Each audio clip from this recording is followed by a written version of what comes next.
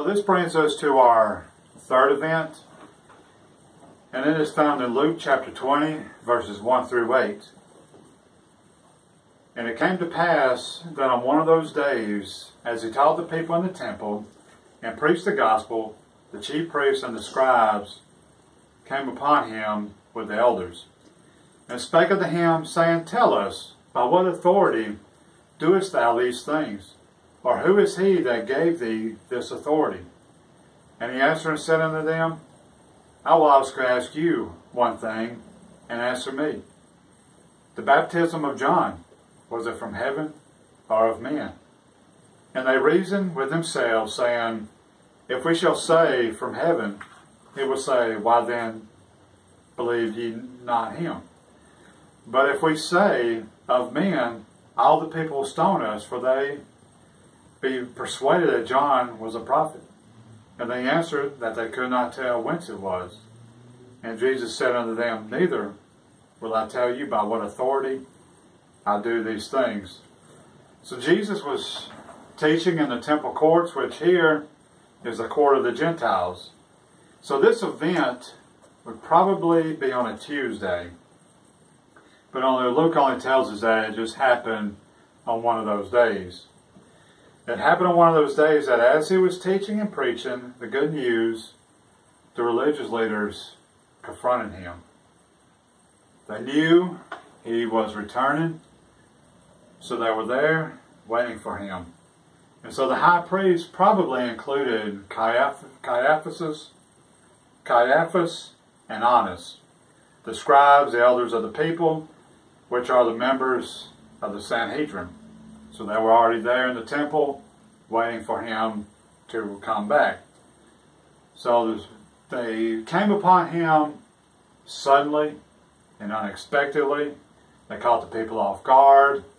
Uh, they were, the religious leaders were pretty much troubled at him cleansing the temple. They did not like him teaching and preaching in the temple. They did not like people coming to hear him.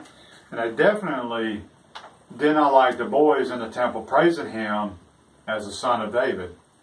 And with all this, they asked him, by what authority does he have to do these things? So they confronted him to demand an answer. They wanted to hear what he has to say.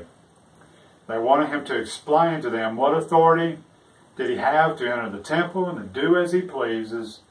He came to expel people, he came to heal people, he came to teach, he came to preach the gospel. So not only do they demand what right does he have to do these things, but they pretty much want to know who gave him that authority. And you remember just a few years earlier, when he cleansed the temple, they asked him the same question. That's found in John 2.18. So they said, what authority do you have to do these things? So he turns it around on them. He answers their question with a question. You know, it reminds me of growing up. We would ask my dad a little question. It required a simple yes or no answer. So he would, he, you know, if a question would be a yes, he would ask a question, was the sky blue? And you would say yes. So he would pretty much answered your question by asking you a question, which in turn, guess what? You answered your own question. So the religious leaders, uh, Jesus turned around on them by asking them a question. So his question is about John's baptism. He wants to know what they have to say about it. If they will say to him what, uh, what they think about his question, if they will answer it, then he will in turn answer them. So now Jesus is demanding an answer from them. He wants them to respond to his question. But if they do not have anything to say about John's baptism, then he will not say anything about his authority. So now the religious leaders, they try to trap Jesus, but in turn are trapped themselves. They try to accuse him. Now they stand accused. They are looking to condemn him, and now they are condemned. So his question is about the authority of John's baptism. They come and asked him about his authority. Now he turned around and asked him about John's authority to baptize. So they reasoned among themselves. So they kind of talked about this. You know, they weighed out their options. I guess you would say, they would say, well, if we say this, then he's going to say that. And I said, well, if we answer it this way, then, then you know, then this is going to happen. But the response was they really didn't, well, the response, they didn't know. They couldn't say. But the truth is, it's not that they didn't know. They just didn't want to admit the truth. They did not want to say where John's authority came from. And so Jesus says, Neither will I tell you what authority I do these things. And this is only a first of a series of questions uh, that they present to Jesus during this last week. And so the last event we're going to look at today is Jesus' uh, last Passover. And that's found in Luke 22, verses 1 through 20. Now the feast of unleavened bread drew nigh, which is called the Passover. And the chief priests and the scribes saw how they might kill him, for they feared the people. Then entered Satan into Judas, surnamed Iscariot, being of the number of the twelve. And he went his way, and communed with the chief priests and captain, captains, how he might be, how he might betray him unto them. And they were glad, and covenanted to give him money. And he promised and sought opportunity, opportunity to betray him unto them in the absence of the multitude. Then came the day of unleavened bread, when the Passover must be killed. And he sent Peter and John, saying, Go and prepare us the Passover that we may eat. And they said unto him, Where wilt thou that we prepare? And he said unto them, Behold, when you are entered into the city, there shall a man meet you, bearing a pitcher of water. Follow him into the house where he entereth in. And ye shall say unto the good man of the house, The master saith unto thee, Where is thy guest chamber, that I may eat the Passover with my disciples? And he will show you a large upper room, upper room furnished. There make ready. And they went in and found as he said unto them, and they made ready the Passover. And when the hour was come, he sat down, and the twelve apostles with him, and he said unto them, With desire I have desired to eat this Passover with you before I suffer. For I say unto you, I will not any more eat it thereof until it be fulfilled in the kingdom of God. And he took the cup and gave thanks, and said, Take this, and divide it among yourselves. For I say unto you, I will not drink of the fruit of the vine until the kingdom of God shall come. And he took the bread and gave thanks and brake it and gave it unto them, saying, This is my body, which is given for you. This do in remembrance of me. Likewise also the cup after supper, saying, This cup is the New Testament in my blood, which is shed for you. So the plot to kill Jesus is beginning to unfold. Luke tells us that the festival of unleavened bread, which is called the Passover, is drawing near. Mark tells us there are two days before Passover, Mark 14 1. The Feast of Unleavened Bread usually followed after the Passover, and the two were usually celebrated as one event uh, while, the, while the world was looking forward to Passover, the disciples were dreading this day. The world was excited to celebrate this feast. The disciples are, are about to lose their friend and their teacher. The world does not know what is about to happen in a couple days. The high priest, the scribes, the elders of the people met at the court of the high priest, determining how they might seize Jesus, looking for that opportunity to put him to death. But they couldn't do so because they fear the people. And at this point, Satan enters Judas. So now this is Judas's time. And so he will Satan's plan to put Jesus to death has come. He's been plotting this for thousands of years, and now he thinks he can accomplish this, and he's going to use Judas to do that. So this was not some random thought that came to Judas's mind. This was not some evil desire that was in his heart. This was Satan's purpose being revealed through him. So now Judas is turning into a traitor. The gospel writers have hinted at this throughout their gospels. If you notice when you read the accounts of the apostles, some of them will put uh, Judas, surname Iscariot, uh, who will betray Jesus or he's a traitor. So they pretty much hinted throughout the Gospels that he is a traitor. So while the religious leaders were plotting, scheming, trying to figure out how they're going to do this, Judas is now going to meet them and he's going to tell them or discuss with them what he will do. So he is betraying Jesus and he's going to discuss and how he's going to do this. The religious leaders were filled with joy. They got somebody who's going to do their dirty work. They found somebody who's willing to do it. Not that they found them, but somebody came and is willing to do their dirty work and they're willing to pay for this. They agreed to 30 pieces of silver, the price of a slave. So Judas is using Jesus as a bargaining chip. He said, What will you give me if I give him up to you? But what's so bad about this is the fact that 30 pieces of silver is the price of an injured slave. So this shows how much value they placed upon Jesus. And this is fulfilling Zechariah's prophecy in Zechariah 11, 12.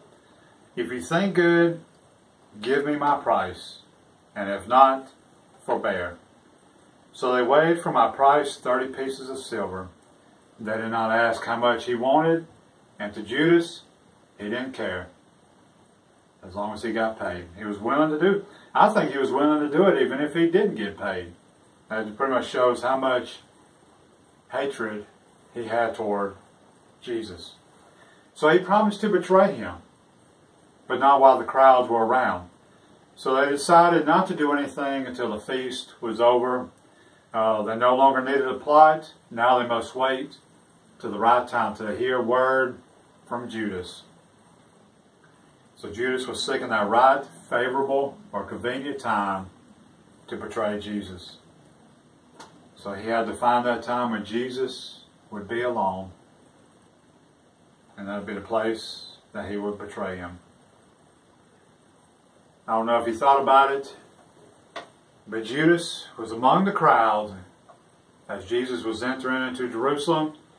He was one of them that was throwing his clothes out, throwing, uh, along with those who threw out palm branches. He was singing Hosanna in the highest, praising him. And now he's betraying him. He's turning his back on Jesus. So the Passover is prepared, and the disciples and Jesus are celebrating, celebrating it. This time, during this time, Judas gets up. You remember, Jesus tells Judas, what you're planning on doing, do it quickly. And the disciples were kind of confused about what was going on. So Judas leaves from the Passover. He goes against the troops, rounds up the religious leaders. And so Jesus uses this time to teach his disciples the true meaning of the Passover. And here, here we institute the Lord's Supper, also known as communion. Even though the Passover is technically a day away, but they were celebrating it um, a day early, it seems. But the way is figured out, according to many commentaries, is depending on the time frame. But one of them says that Jesus and the area where Jesus and the disciples lived went by the Roman standard of time, which went from sunrise to sunrise, which means that they were able to celebrate Passover at sunset on this particular day. So this gave them the freedom to celebrate the Passover a day early. So this final meal will be a memorable, a memorable one. Would, uh, the disciples will learn something about each other. And they, of course, learned who would betray Jesus. They began to argue with who's going to be the greatest. And Jesus uses this as an object lesson. So you know what? I'm going to show you what it means to be great. And you must humble yourself and be a servant in order to be great. So he's going to uh, teach them this. Judas is gone, and Jesus will use the Passover elements to teach them about the Lord's Supper. So he reveals the meaning of this meal. He will use the bread and the wine to do so. So he takes the bread, the whole loaf of bread, and breaks it. He didn't cut it, he broke it, which symbolized his broken body for the disciples and for us. The cup symbolizes his shed blood, which is poured out for them. So Jesus showing them that his body will be broken and his blood will be poured out so that they can be forgiven and so that those who come after them will also be forgiven of our sins.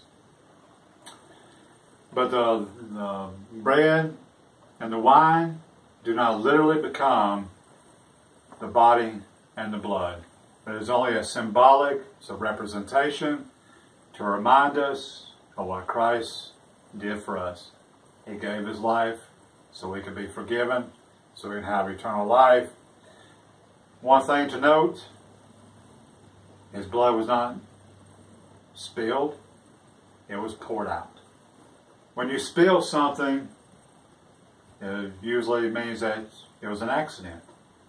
But Jesus' blood was poured out, meaning it was intentional.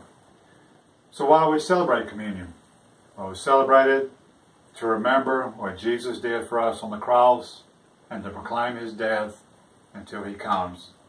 So you can see that in 1 Corinthians 11, 26. Jesus revealed this to the disciples. And so in order for them to pass it on to other believers, and so in, in, in turn, they could pass it on to other believers. And it's been going on for thousands of years. We celebrate communion, the Lord's Supper, as a uh, remembrance of what Christ did for us. The betrayal probably happened on Wednesday, and the institution of the Lord's Supper happened on Thursday. So basically, it's possible that Judas went on Wednesday talking to the religious leaders, getting his money to betray Jesus, and then now the institution of the Lord's Supper with the other disciples happened on Thursday. It'll be this night in which Jesus will be arrested, tried, and crucified. But as I mentioned a little while ago, this is not the end of the story. So this does not mean that we, as I heard somebody said years ago, that they were witnessing to some, um, a missionary was witnessing to some people, and they got to the part where Jesus was crucified, and the person broke down crying. But he rejoiced when they got to the part where Jesus was raised from the dead. It was a long night that night, but joy cometh in the morning. And joy came that Easter morning. Let's go to the Lord in prayer. Father in heaven, we thank you for the Gospels. We thank you that you preserved your word for these thousands of years while we can read it ourselves. We thank you, Lord, that that you, that you sent Jesus to come. We thank you that he shed his blood on Calvary so we can be forgiven. And Lord, we know that power continues into our day. And Lord, we pray that during this Easter season, that millions more will continue to come to Christ and trust in that precious blood that was shed upon the cross. And Lord, that they would die to themselves and they would trust in Christ as their Lord and Savior. We pray, Lord, you continue to work in our hearts and our lives. Pray that you continue to be with us. Pray that you continue to lead, and guide, and direct. We pray this in Jesus' name. Amen.